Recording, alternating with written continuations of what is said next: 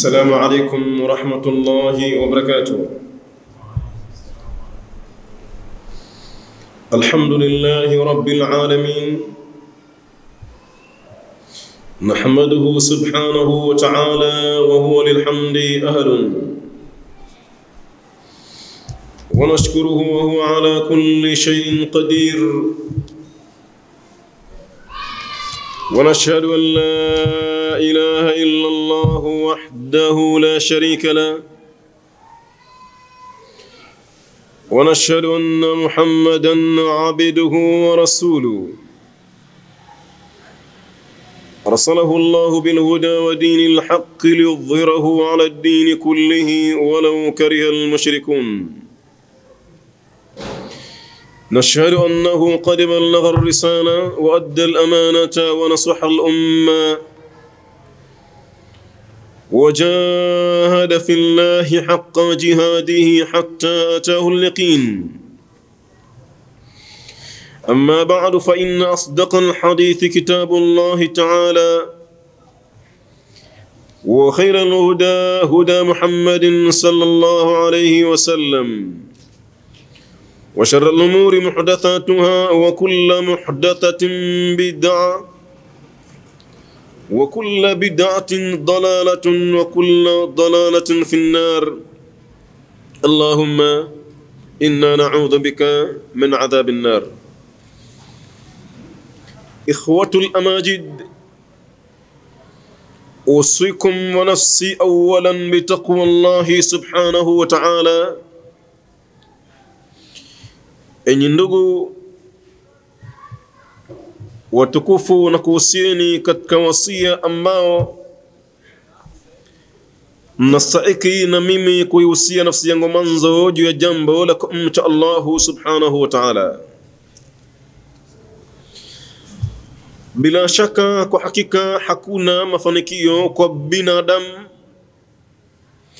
bali hakuna mafanikio kwa viumba Mwenyezi Mungu wote iwapo wataepukana na jambo hilo la kumwogopa yeye, kuweza kutunga kabisa kabisa heshima aliyowapa Allahu subhanahu wa ta'ala.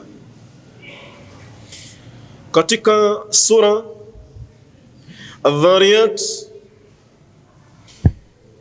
miongoni mwa watu ambao walikosa kufahamu heshima ya Mola wao subhanahu wa ta'ala. Katika sura hiyo tulikuta kuna ugeni maalum ambao ulikwenda kwa nabii wa Mwenyezi Mungu Ibrahim, kafika pale, lakini ugeni huu kwa hakika maksudi ulikuwa unakwenda kwa nabii wa Mwenyezi Mungu Lut alayhi salam, juu yake amani, lakini wakapita kwanza kwa mzee Ibrahim alayhi salam kumjulia hali pale na kumpa bishara kwamba yeye atazaliwa mtoto alim, mtoto ambaye atakuwa na elimu kubwa kabisa ya kumtambua Allahu jalla jalal, elimu ambayo atakayekuwa hanayo elimu hiyo ni kwamba yeye atakuwa ni mjinga mkubwa mno kabisa kabisa, hata kama atakuwa na cheo namna gani, kwamba yeye ana cheo fulani ana certificate iliyokuwa nzuri sana, lakini imepukana na maneno ya Mwenyezi Mungu, huyo anahesabika kwa hakika ni mjinga kabisa. Ugeni ukafika pale, ukafika kwa mzee Lut alayhi salam. Hatimaye baada ya yote yaliyotokea, akaambia sisi bwana, kwa hakika tumepelekwa kwa, kwa watu ambao mujrimina hawakufahamu heshima Mola wao aliyowekea hapa duniani. Allahu jalla jalaluhu amesema mwenyewe, wama khalaqtul jinna wal insa illa liya'budun, sikuwaumba mimi majini na binadamu isipokuwa ni kwamba lengo moja, waweze kuniabudia mimi. Tukaenda zetu katika sura hiyo mpaka tukafika aya nambari 27 na leo insha Allahu subhanahu wa ta'ala tutaanza nyumba nyingine kabisa. Tumetoka katika Baitullah Ibrahim na tukaingia katika Baitullah hilo, sasa tunaingia katika mmoja miongoni mwa nyumba nyingine za nubuwa. Bado tunaishi katika nyumba za utume tu. Waislamu hutegemea katika nyumba hizo kuvuna faida kubwa mno ambazo watatumia na wao katika majumba yao.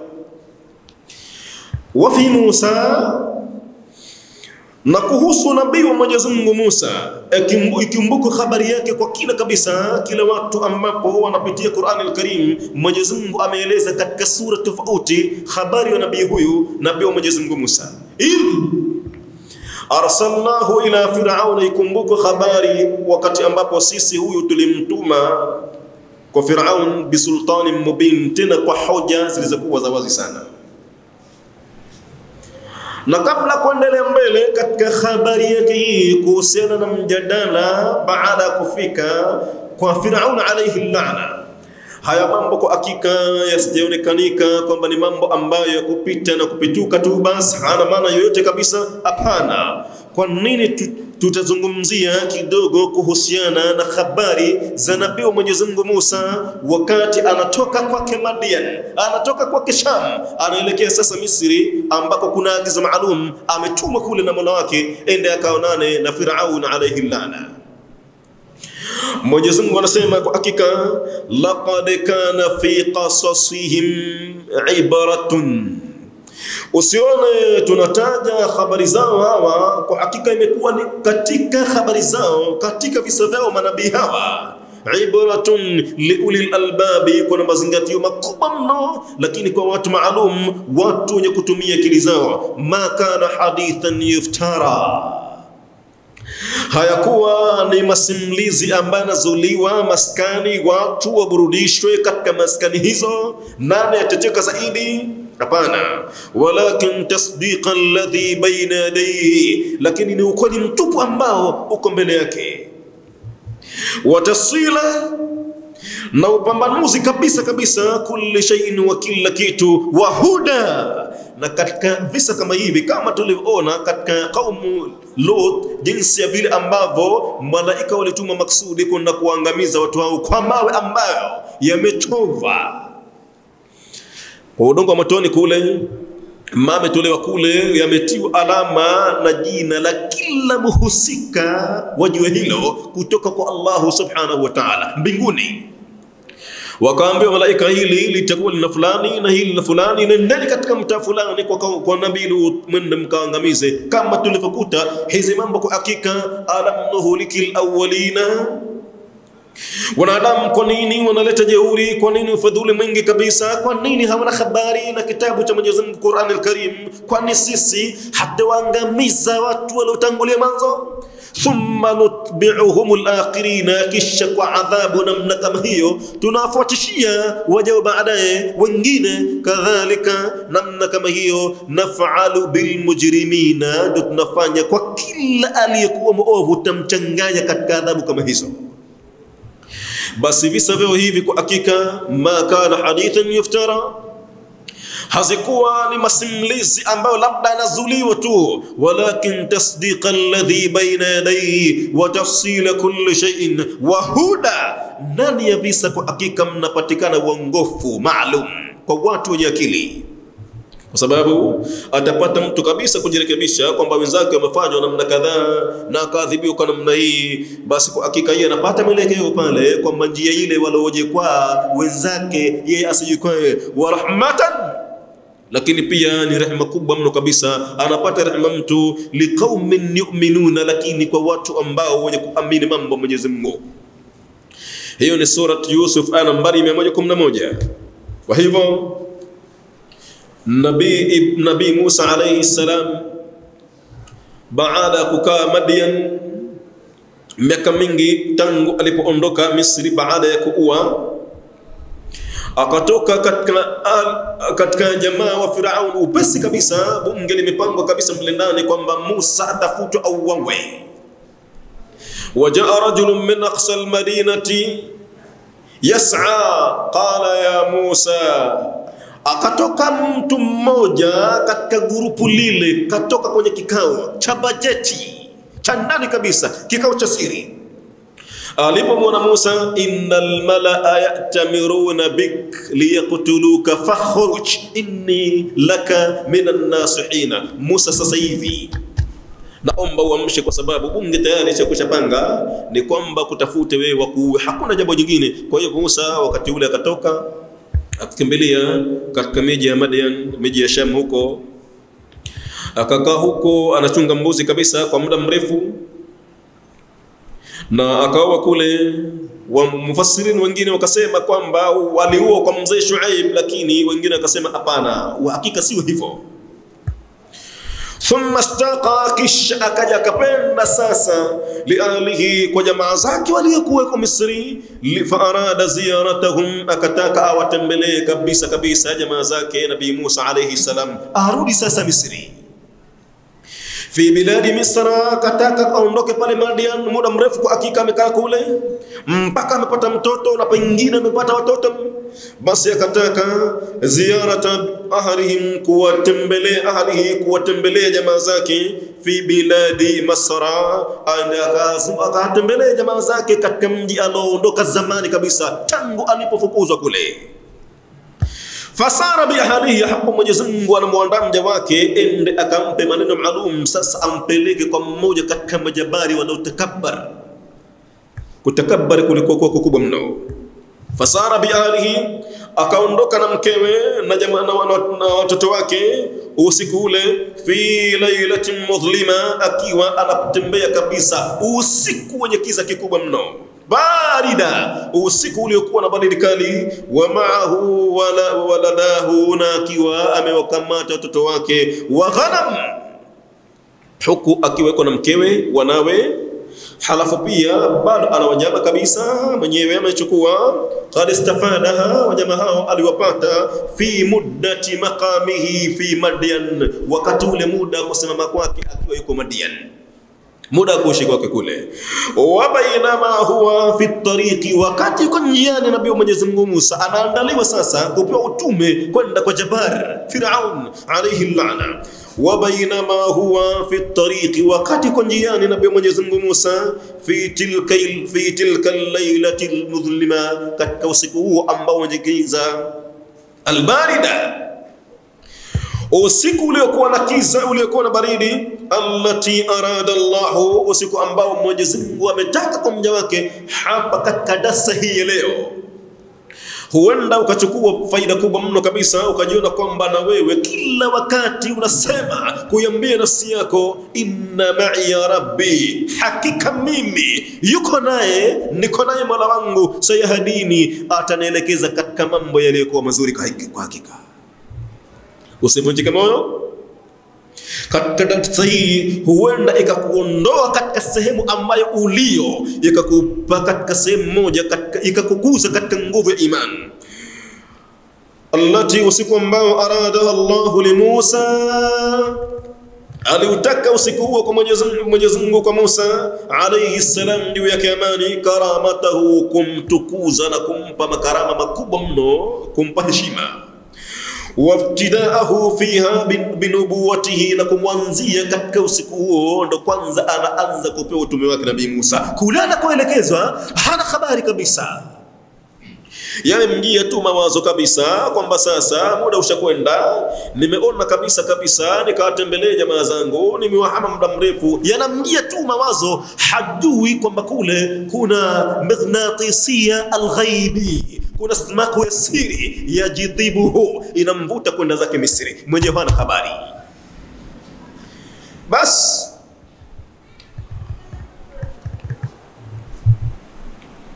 taha Musa alayhi salam, wakati yuko njiani anakwenda sasa Misri kwa miguu, basi akapotea kabisa nabii wa Mwenyezi Mungu Musa maalihi, pamoja na jamaa zake, mke wake, mtoto wake fi tariqi, akapotea njia kabisa. Hata lam yakun, mpaka akawa sasa Musa hajui usiku wenye mvua, usiku uliokuwa na kiza totoro, usiku wenye baridi kali. Lam yakun yadri, akawa Musa sasa hajui aina yatawajjahu, wapi aelekee. Njia ishakumtisha mpotea, ni miaka mingi kabisa amekwenda walam yatahadda ila suluki eh, walam yatahadda ila, ila suluki wala hakupata njia ya kuweza kufuata katika mtaa ule, katika maeneo yale. wakanat zawjatuhu wakanat zawjatuhu, na akawa sasa la kutisha zaidi, ametaka usiku kabisa, radi zinatoka kwa wakati ule kiasi ambacho si kirahisi kabisa kabisa binadamu kwa wakati huo akiona vimondo vya radi vinanguruma, mvua kali, kiza totoro, hakuna msaada kabisa. Wakati mwingine kwa hakika mtu anakuwa anakimbia, anajiingiza katika majumba, anajificha. Wengine hata yuko nyumbani, umwesa ukipiga tu, radi ikipiga tu, anajichomeka kabisa mvunguni mtu. Nabii Musa akiwa yuko njiani kabisa akiwa kuna na watoto wake na wanyama kabisa na mkewe hamila, mkewe sasa akiwa ni mjamzito, fa akhadha fa akhadha at-talaq. Sasa ikaja habari sasa kwamba aweze kujifungua, uchungu kwa mpiga kabisa, fi tilka al-lailati al-mudhlima, katika usiku ambao wenye kiza, albarida, usiku uliokuwa na baridi, allati, usiku ambao ama amaha almatar, ulioelewa na mvua. Mvua inanyesha kwa wingi, waradu, na radi zinavuma kwa wingi kabisa, walbarq, na umwesa wa kuweza kunyakua macho binadamu. Wa arada Musa alayhi salam, na kataka Musa juu yake amani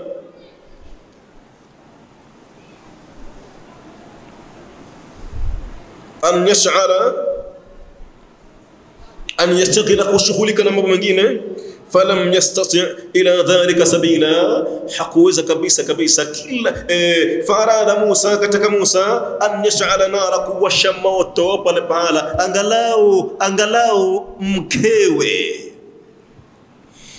Aweze kupata angalau ujoto ujoto kidogo, aweze kujisaidia pale alipo hali taabani kabisa falam yastati ila dhalika sabila, hakuweza njia yote kabisa. Mvua inakuja bana, hawana sehemu ambayo labda pengine wataweka hema wajifiche na mvua ile, kama walikuwa na kitu cha kuwashia moto kitaroa kabisa. وبينما هو كذلك وقت يكو كتك حليو أنا هنغيك سسمومي وتتو أكو بالي ونما أكو بالي مك أكو بالي نم تتم دوكو كبيسا وبينما هو كذلك ألي بكو كتك حليو أنا سا وأبصر من جانب الطور إنارا أكو نساسا وبند فلاني كبيسا كنا كتو كما موت فلاني unawaka akaona nuru fulani fahasibahu naran, akaudhania ule ni moto kabisa. Yaqulu Allahu subhanahu wa ta'ala, kuhusu mkasa huo Mwenyezi Mungu anasema, wa hal ataka hadithu Musa, je, Muhammadi, katika maisha yako kukaa kwako Maka kuna mtu yoyote labda anakusimulia habari kuhusiana na nabii wangu Musa? Imekujia habari yoyote, masimulizi yoyote kuhusu nabii wangu Musa? Raa naran, kumbuka basi wakati alipoona nabii huyu moto. Faqala li ahlihi, akasema kuambia watu wake, imkuthu, kaeni hapa kwanza, niende mimi peke yangu. Inni anastu nara, mimi nahisi naona alama fulani ya moto la'alli atikum minha bitabasin, huenda kama ni moto mtawaletea mimi kijinga fulani, na sisi tutapata sisi kuwasha moto hapa au ajidu ala nari huda, au kule mnakokwenda kule mtapata mtu wa kunielekeza katika njia. Tushapotea, tuko mwituni, hatujui wapi twende usiku huu. Basi naomba kwanza mpumzike, msubiri kwanza. وتقدم موسى عليه السلام. موسى كوندوكا كين كبيسا كما شاف وسواك كما شاف ولما فلما وصل قريبا من من جبل الطور. وقات يعني يلي بوفيكا قريب كبيسا نملي مطور. في وادي كت كبوند فلاني اسمه جنا لمدهيلو توا. لنيتو توا. رأى نورا عظيم أكون سس النور كبم كبيسا. Mutamaddu min anai samai, ikiwa imeanza kuondoka pale kutoka mbinguni juu, ila shajarati adhimati, mpaka imefika kwenye mti mmoja mkubwa mno kabisa, khadra, mti ambao una kijani kibichi. Hunaka, wakati uko huko, fatahayara hunaka Musa, Musa kufika pale akaemewa, hajui afanye nini, yuko peke yake kabisa, watu wake washawacha mbali, masafa mbali kabisa, na yeye amekwenda kule usiku totoro kabisa, hakuna msaada wa mtu yoyote kabisa katika binadamu. Pala pale kwa hakika, wanadahu rabbuhu, mola wake ilibidi amwite. Mwenyezi Mungu akasimulia mkasa huo, akasema falamma ataha, alipoendea sehemu hiyo nudia ya Musa, akaitwa ewe Musa, inni ana rabbuka, hakika hapana vingine vyovyote, sita wala kitu gani. Inni ana rabbuka, mimi kwa hakika ni mola wako. Fakhla na alaik, vua kwa hakika viatu vyako, hapa umeingia katika sehemu moja ambayo takatifu mno. Innaka bilwadi almuqaddasi hakika wewe uko katika bonde ambalo lilotakaswa, tua, likiwa linaitwa tua. Hapa uko katika maeneo mengine kabisa, vua viatu vyako. Wa ana ana ujue ya kwamba mimi hakika ikhtatuka, nimekuchagua. Fastami lima yuha, kuanzia sasa kuwa makini kabisa kwa yale ambayo yanazungumzwa katika wakati huu unapewa wewe, kuwa makini kupokea. Innani ana Allahu Nachokueleza kwa hakika hakuna vingine, mimi ni Allahu, hakuna mwabudiwa mwingine zaidi yake. La ilaha illa ana, hakuna mwabudiwa mwingine zaidi yangu. Faabudini, niabudu mimi. Wa aqimi salata lidhikri, nasimamisha ibada ya sala kwa ajili ya kumtaja mimi. Thumma qala lahu maulana, ikisha baada ya hapo akasema kumwambia mola wetu aliye mtukufu taskinan liqalbihi, kuweza kumtuliza moyo wake kabisa, sipaparike, asiingie oga kabisa, kwa sababu sio jambo la kawaida kuenda katika maeneo ya maporini, halafu ukaona sehemu kuna taa, kufikia pale unaitwa jina lako fulani bila shaka utasema hawa ni majini kabisa, na sasa hivi sitoki wala siponi hapa leo.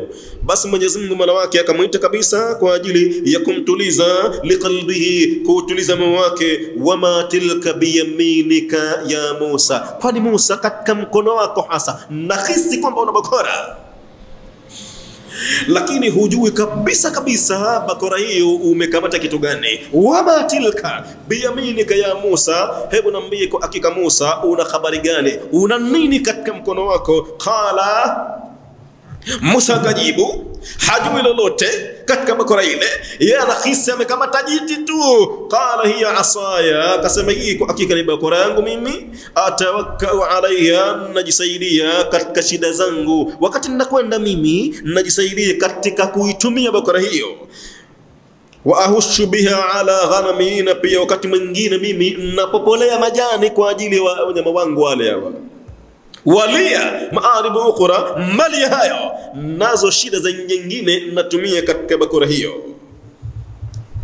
Faamarahu taala, Mwenyezi Mungu akamwamrisha mtume wake an yulqiya alasa, aidondoshe chini kabisa bakora ile.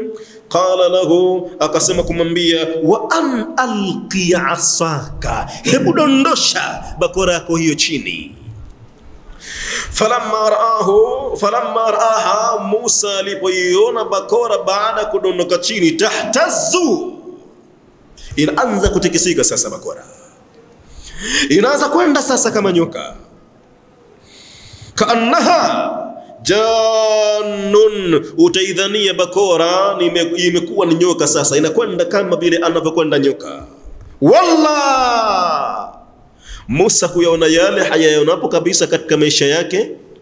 Usiku ule yuko peke yake kabisa, akiondoka pale, kama ataliwa na nyoka yule, hali zake ashawaacha katika porini kabisa. Mvua kali, radi kali, kiza totoro, watasaidiwa na nani? Basi kuyaona yale Nabii Musa, walla alikimbia kabisa kabisa, mudibiran akiwa anakimbia kwa haraka, walam yuaqib, wala hakaangalii kabisa kabisa nyuma. Kwa wakati huo, labda visigino vinaweza kugonga eh, kisigino kinaweza kugonga kisogo hichi kwa sababu ya mwendo mwingi na woga mwingi uliokuwa nao. Fanadahu rabbuhu subhanahu wa ta'ala, Mwenyezi Mungu mola wake akamwita Musa hapana kamtuliza kabisa ya Musa kambe e Musa aqbil wala takhaf. Hapana rudi unakokwenda huko elekea kwenye bakora hiyo. Wala usiogope lolote kabisa. Innaka minal aminin. Hapa uko pahala pengine kabisa. Yule ambaye atakuwa pamoja na Mwenyezi Mungu Subhanahu wa Ta'ala amina min alhayati huyo mtu anakuwa amepata amani katika maisha. Wa amina min adhabi llahi na amekuwa na amani kabisa katika adhabu zote kabisa kabisa katika binadamu hata kama atakusanyika basi yeye wanakuwa hawampati kabisa mtu huyo.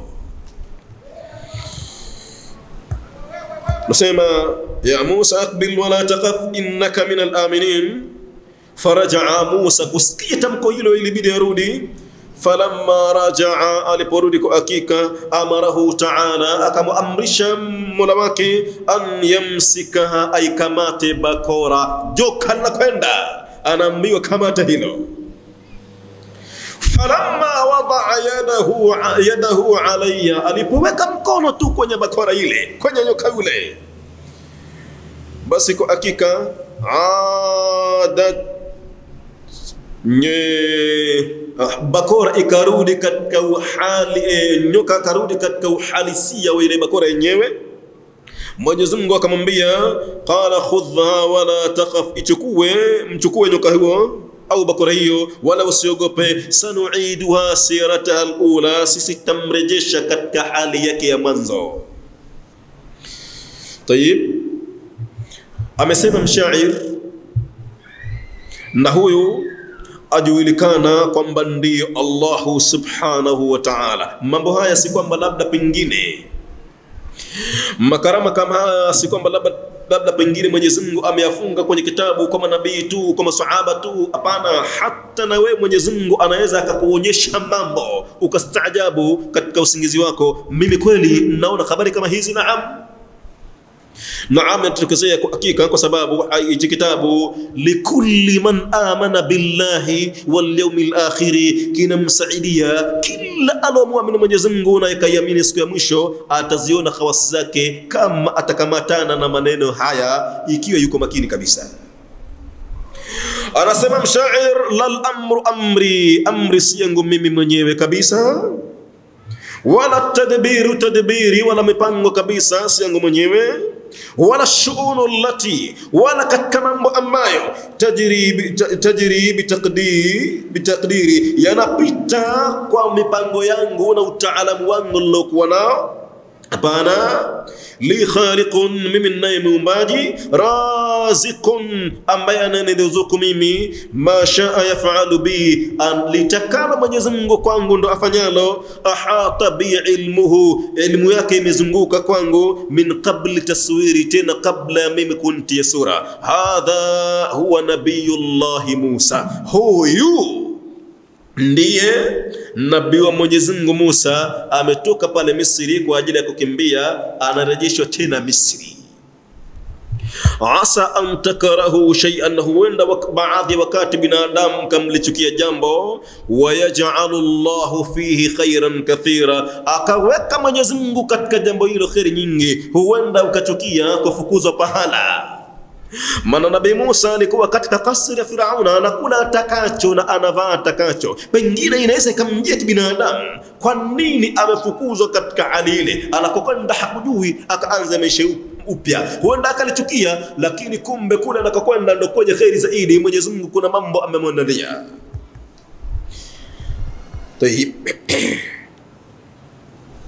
Baada ya mazungumzo baina ya Mwenyezi Mungu na Musa alayhi salam, wakati statement zinakwenda kabisa kabisa kati ya mja wa Allahu na Mola wake, nabii wa Mwenyezi Mungu Musa, ilibidi sasa, kutokana na ladha ya mazungumzo ya Allahu subhanahu wa ta'ala, mazungumzo ya Mwenyezi Mungu kwa hakika yana ladha yake. Ndiyo maana msomaji anapowasoma maneno hayo wakati mwingine anakuwa stamili kabisa, inafika wakati anatoa machozi, analia kabisa.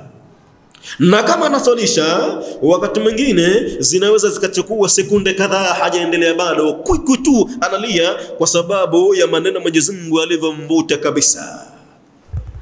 idha dhukira Allahu wajilat qulubuhum, waumini walivyo kabisa, anavyotajwa Mwenyezi Mungu nyoo zao hushtuka kabisa. Wa idha tuliyat alaihim ayatuhu, na zinaposoma aya zake Mwenyezi Mungu kwao zadatuhum imana, imani yao kwa hakika inakuwa inazidi kabisa. Kwa maneno hayo, takshairu minhu juludu alladhina yakhshawna rabbahum zinalainika kabisa kabisa nyoyo za wale ambao wanamwogopa mola wao. thumma talinu juluduhum wa qulubuhum ila dhikri llahi dhalika huda llahi, huwa ni uongofu wa Mwenyezi Mungu, yahdi bihi man yashau, anampa mtakaye.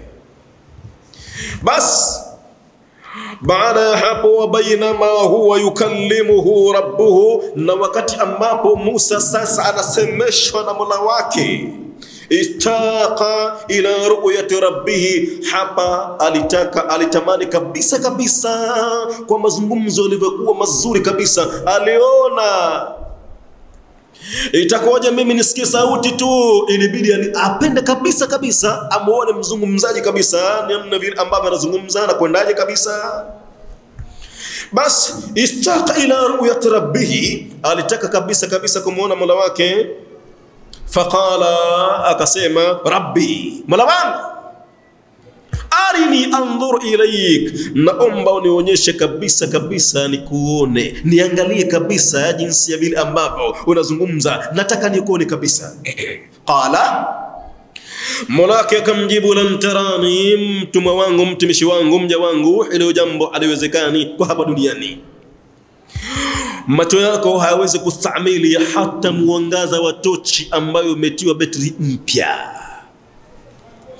Macho yako hayastamili kabisa kuona mwangaza hata wasi wa tochi ya simu, hayawezi kabisa kabisa macho yako. Lantarani, kwa hivyo kwa hapa huwezi kuniona, lakini ili nikukinesha mtume wangu walakin ndhur ila aljabal, lakini angalia kwenye mlima. Fa in istaqarra makanahu, iwapo mlima utatulia kabisa kabisa, fasawfa tarani, basi mimi utaniona. Kama mlima ule utastahimili kabisa kubeba uzito wa utukufu mtakaweka pale, basi naam, na wewe utaniona kabisa, hakuna wasiwasi. Kama alivyosema hayo allah subhanahu wa ta'ala mwenyewe Qala Muhammad ibn Ishaqa, tuhame kidogo tuje kwa mmoja katika wanafunzi wa sahaba tabi'in jalil, anasema hadathani ba'du, wamensimulia mimi baadhi wal ambao man la attahim, mimi kabisa kutokana na walivyo na uchamungu waliokuwa nao, mimi sidhani kama wanasema uongo, si watuhumu hivyo. Ni wale ni wale wangu mmesoma kwao Qala Allahu, anasema katika masomo aliyosoma yeye, amesoma amesema Mwenyezi Mungu, ya ibn Imran, kumwambia e, mtoto Imran ambaye ni Musa, ewe mtoto Imran, innahu, katika kuchambua ya hii ni kwamba mambo yalivyo, la yarani ahadun fayahya, hawezi kuniona kabisa kabisa katika binadamu akaweza kupata uhai, mimi hawezi kufanya hivyo. Qala Musa Nabii Musa akasema, rabbi, mola wangu, la sharika laka, nalojua mimi kwa hakika wewe huna mshirika kabisa. Inni an araka, lakini hakika yangu mimi kama nitakuona hapa duniani, wa amut, na nikafa mimi, ahabu ilayya, hili jambo kwa hakika linapendeza zaidi kwangu min, la, min an la araka, kuliko kabisa kabisa nsikuone mola wangu. Wahyana, nikawa nika na uhai. Rabbi an at, atmim alayya naaimak, nakuomba mola wangu ntimizie neema zako, wa fadlaka wa ihsanak, na fadhila zako na ihsani yako, nakuomba leo hapa hapa, hakuna kwenda kwengine. Hapa, siachii. Nakuomba mola wangu unionyeshe uni, uni kabisa kabisa, nakuomba nikubalie, bihadha alladhi as'aluka, kwa hili ambalo nakuomba mimi, wa amut, wachilia mbali nife mimi ala athari dhalika, juu ya tokeo hilo, watu waje wasome habari kwamba yuko katika viumba Mwenyezi Mungu. Alipokuwa anazungumza naye, alitamani amuone, alipomuona akaja akaondoka duniani. Natamani kabisa mimi kupata jambo hilo, wacha watu waje wasome habari zangu.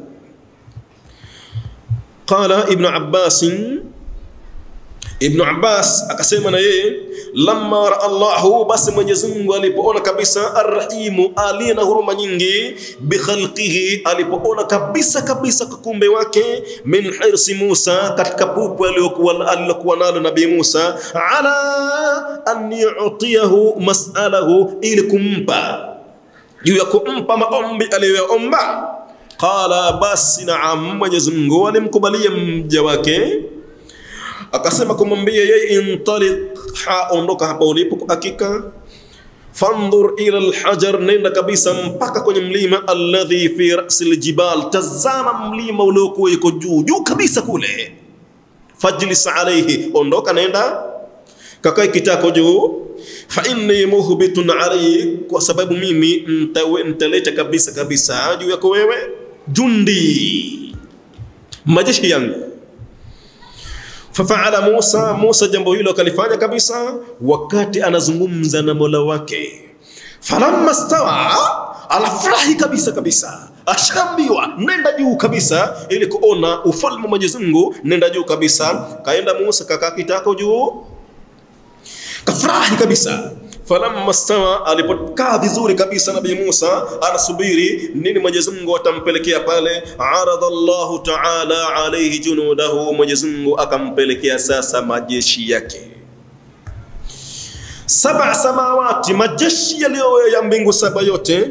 Faamara malaikata samai dunya, akawaamrisha sasa malaika wa mbingu ya dunia an yaaridu alayhi, wende kabisa kabisa kwa nabii wa Mwenyezi Mungu Musa famarru bi Musa, wakapita kabisa kwa nabii Mwenyezi Mungu Musa. Walahum aswatun, wakiwa wenyewe malaika hao wana sauti. Murtafiatun bitasbihi, zikiwa sauti hizo zimenyanyuka kabisa, huku wanasema subhanallah la ilaha illa Allah, malaika wakiwa wanakwenda kwa namna hiyo kwa sauti rad ashadidi, tena sauti hizo zinatoka kama vile radi zilizokuwa kubwa mno kabisa. Thumma amara malaikata, ikisha Mwenyezi Mungu akaamrisha malaika wengine assamai thaniya, wa mbingu ya pili, an yaridu ala Musa, wapite kabisa kwa nabii Musa, waende pale fafalu wakafanya hivyo, famarru bihi, wakapita kabisa kwa nabii Musa, ala alwani shatta, wakiwa na rangi kabisa malaika hao tofauti. Rafi'i dhu wujuhin, malaika wakiwa na nyuso kabisa tofauti wa ajnihana, akiwa na mbaa kabisa, minhum miongoni mwa malaika hao, alwanul aswad, wakiwa na rangi zilizokuwa nyeusi, rafi'i aswatahum bitasbihi, wakiwa na nyanyua sauti zao kwa kumsabih Mwenyezi Mungu subhanahu wa ta'ala. Nabii Musa kuyaona yale fafazia Musa alayhi salam, pale Musa sasa woga ushamwingia, anafadhaika, hajui aende wapi sasa. Waqala, na akasema kumwambia mola wake, ai rabbi, e mola wangu, inni, hakika yangu mimi nadimtu, nimejuta, najuta kabisa mola wangu ala masalati, kutokana na maombi yangu mimi nilaomba kabisa kabisa. Wayad'u linsanu, Mwenyezi Mungu ameyazungumza haya katika sura Al-Isra.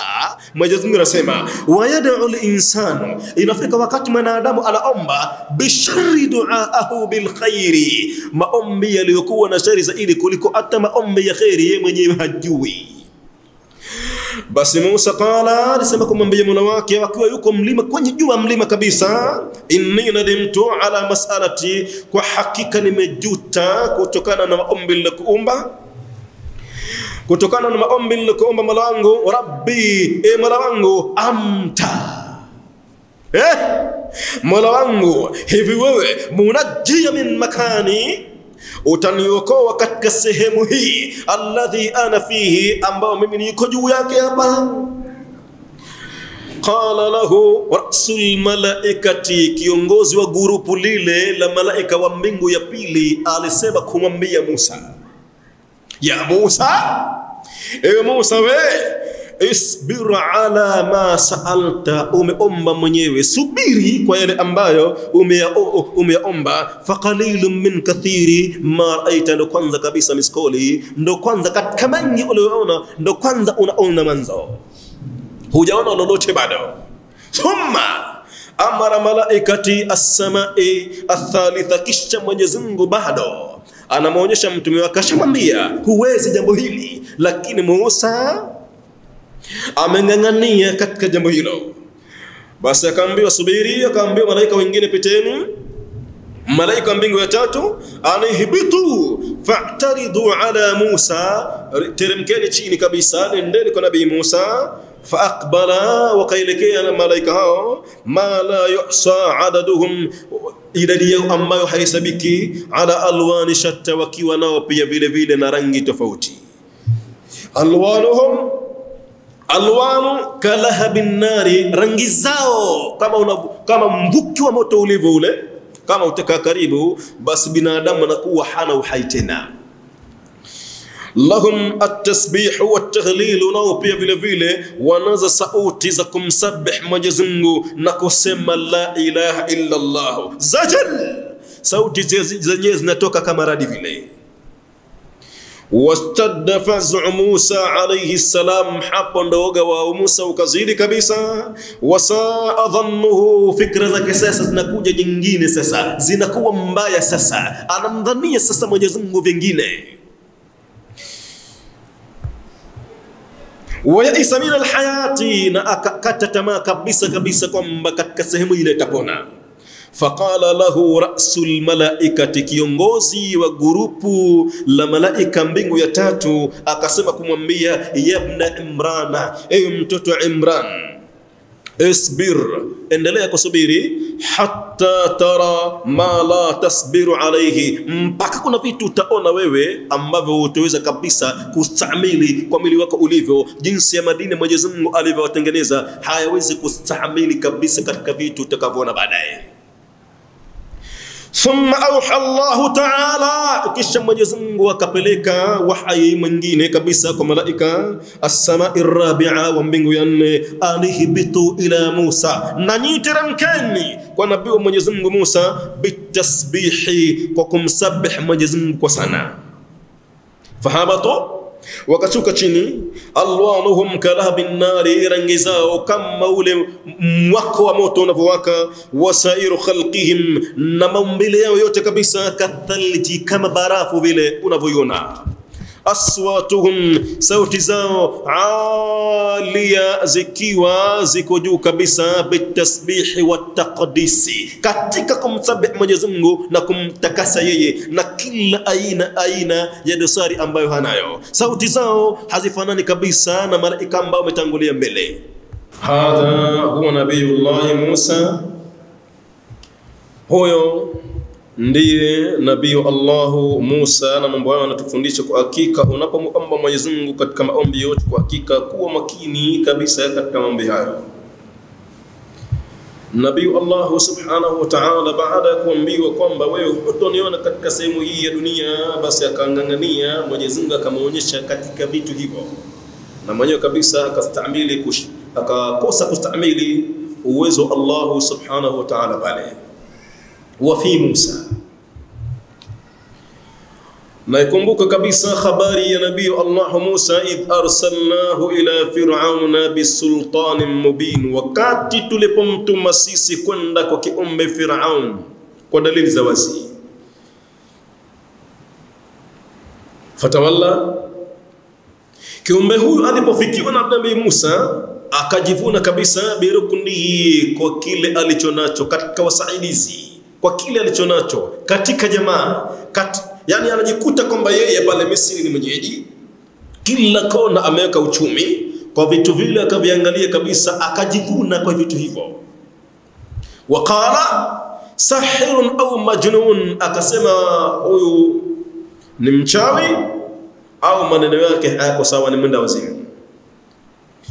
Alipotamka hivyo faakhadhnahu wa junudahu, tukamchukua sisi kwa adhabu, fanabadhna majeshi yake yote kabisa. fanabadhnahum fil yammi, tukamtupa katika bahari, wa huwa mulim, naye huku akiwa anasema vibaya sana kwa makosa na vitendo alivyofanya yeye, analaumiwa sana. Wa fi adi, na ikumbuke habari nyingine kabisa ya nabii wa Mwenyezi Mungu katika kabila la Ad, idh arsalna alaihim riha alaqim, kabila hili tulilipelekea kabisa upepo ambao tasa hauna faida yoyote kabisa kabisa, hauna kheri. Labda pengine inakuja mvua watu wapate mazao. Alaqim, upepo ambao hauna kheri yoyote kabisa. Ma tadharu min wama tadharu min shay'in atat alayhi, upepo huo haukuacha chochote katika kile ambacho umekiendea upepo huo illa ja'alathu karramim, isipokuwa upepo uliufanya kitu hicho kama mchanga tu uliovurugwa. Wa fi thamuda, na ikumbuka kabisa kabisa katika qaumu Thamud, idh qila lahum, wakati waliposema kuambiwa wao, tamattau hatta hin, subirini kidogo, stareheni mpaka muda wa baadaye kidogo faatau an amri rabbihim, wakenda kinyume kabisa, wakachopa mpaka kutokana na amri Mola wao. Faakhadhathum saiqatu, wao wakaja wakachukuliwa na kimbunga kabisa, radikavu bila mvua. Wahum yandhuruna, wenyewe wanaona kabisa kabisa wanakufaa kitu kile pale kinakuja. Fama fama stata'u min qiyamin, adhabu ilipokuja hawakuweza kabisa kabisa kusimama wama kanu muntasirin, na wala hawakuwa kabisa ni watu ambao wenye kunusuriwa.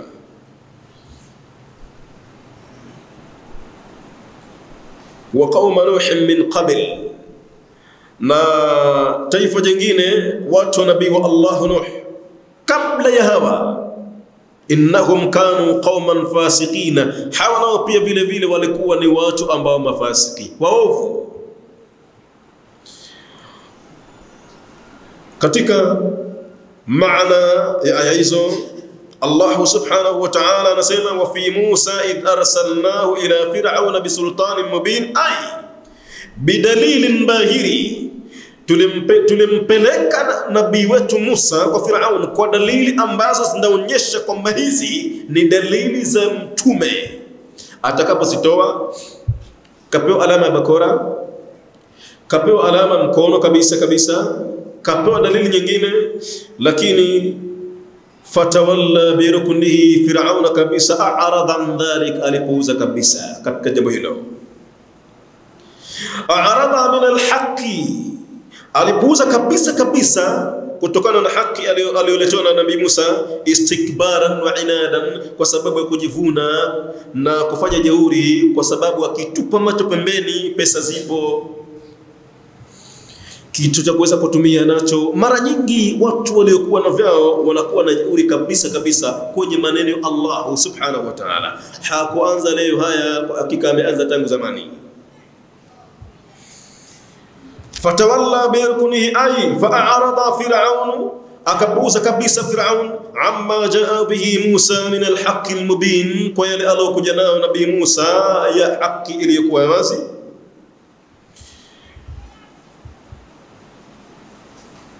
Mwingine Ibn Zaidin akasema katika kuitafsiri hiyo, fatawalla birukunihi ay bimajmu'ihi allati ma'ahu, kwa vile vikundi alivyokuwa navyo, alivyokusanya majeshi anayo, vitu vya kutumia anavyo, serikali yake yote ni yake yeye kabisa, serikali nzima usalama anao. Bimajmu'ihi, alijivuna kabisa kabisa, kwa sababu majeshi anayo, hafanyi lolote kabisa, ulinzi kila pahala Watu wengi wanakuwa wanajivuna kwa vitu hivyo. Watu wengi wanakuwa wanajivuna kwa nguvu zao walizokuwa nazo. Watu wengi wanakuwa wanajivuna kwa mali walizokuwa nazo. Na Firauna yeye fatawalla biruknihi ai arada bimajmuihi allati ma'ahu, amedharau utajwa Mwenyezi Mungu, amedharau maneno Mola wake kwa sababu ya yale aliyokuwa nayo, fedha na utawala, askari yanao, majeshi yanao, kila kitu anacho, apigwe na nani? Basi akajivuna kwa hayo. Waqala na akasema sahirun au majnun, akasema kwamba huyu ni mchawi au ni mnazimu. Kwa lugha nyingine, huyu kwamba ni gaidi, anataka kuwasumbua wenzake. Fa akharnahu wa junudahu, Mwenyezi Mungu anasema katika tamko hilo, al ayqainahum, tuliwatumbukiza wao fil yammi, katika bahari pevu kabisa, wa huwa mulim ay wa huwa malum, anasema vibaya, kafirun, kwamba yeye ni kafiri, jahidun, fajirun, muanidun, sifa zote kwa hakika ni zake yeye, anazungumzwa vibaya. Na mambo haya kwa hakika usiukadhani adhabu kama hizi zitamalizikia kwa Firauna tu. Fakullan akhadna bidhambihi. Mwenyezi Mungu anasema kila mmoja tunamkamata kwa namna za adhabu ambazo tunatambua sisi. Kwa mujibu wa makosa yake. faminhum man khasafna bihi al-ardha, kuna wengine tuliwazamisha chini kabisa, tuliambia ardhi pasuka, akatumbukia chini, naye ni Karuna alayhi lana. wa minhum man aghraqna wengine tuliwazamisha baharini kabisa kabisa, na wengine man arsalna alaihim riha, kuna wengine tuliwapelekea upepo. Kwa hivyo Mwenyezi Mungu anamwangalia mtu kwa namna gani amchukue. Kwa mujibu wa makosa yake, basi Mwenyezi Mungu anaweza kuzipoteza hata pesa zako, anaweza kuwaunguza mahoteli yako kabisa. Anaweza kuanguza maduka yako kabisa, anaileta shoti kabisa kabisa, inaunguza hoteli nzima, wala hakuna chochote kabisa ambacho kinabakia, akikuona kwamba kwa makosa uliokuwa nayo ni bora ili akusumbue zaidi ni kukupotezea hii mali yako, basi Mwenyezi Mungu anafanya hivyo, na yeye anafanya kwa hekima yake kabisa, anajukujua wapi akusumbue. Akikuona kwamba huyu kwa ugonjwa huyu atatumia pesa zake huyu na nitammiminia rehema ya kumponyesha huyu, basi nitampiga makora nyingine ambayo atajitambua zaidi huyu. Basi naam, wama yaalamu junuda rabbika illa hu, hakuna yoyote atambue majeshi ya Mola wake isipokuwa ni yeye mwenyewe. Vipi akukamate katika adhabu? Anajua mwenyewe atakukamata kwa namna gani. Wakati mwingine hata kwenda kuposa pahala Mwenyezi Mungu anatia kufuli, anapiga blog kwamba usikubalike. Wakati mwingine hata kuanzisha biashara, kila unachokianzisha ni kwamba hakiendi, anakupiga blog Allahu jalla jalaluhu, wala yakhafu uqubahu, wala haogopi mwisho itakuwaje. Kwa leo insha Allahu tufikeni hapa, tutakuja kuendelea darasa hii wiki ijayo lakini kama tulivyotangulia, ma kana hadithan yuftara, habari hizi sio kwamba labda pauko pepa zimekaliwa pahala watu wakakaa zikazuliwa. Hapana, imekuwa ni ibra liulil albabi, kwa watu wenye akili zao, unakuwa na mazingatio makubwa kabisa. Na wallahi alazim, kama utaizingatia Qur'an alkarim, utaiweka kabisa kabisa mafunzo yake, sio maneno kawaida unasoma mdomoni, moyoni yako Hapana, ukaweka kabisa kabisa katika moyo wako. Wallahi alazimi, lazima uone khawasi zake, matokeo yake katika ulimwengu huu. Haipiti hivi hivi, lazima Mwenyezi Mungu akuonyeshe mambo katika usingizi wako, utaona mambo kwa hakika ya ajabu. سبحانك اللهم بحمدك نشهد أن لا إله إلا أنت نستغفرك ونتوب إليك سبحانك ربك رب العزة عما يصفون وسلام على المرسلين والحمد لله رب العالمين. وأستودعكم الله الذي لا تضيع ودائعه. والسلام عليكم ورحمة الله وبركاته. والله أعلم.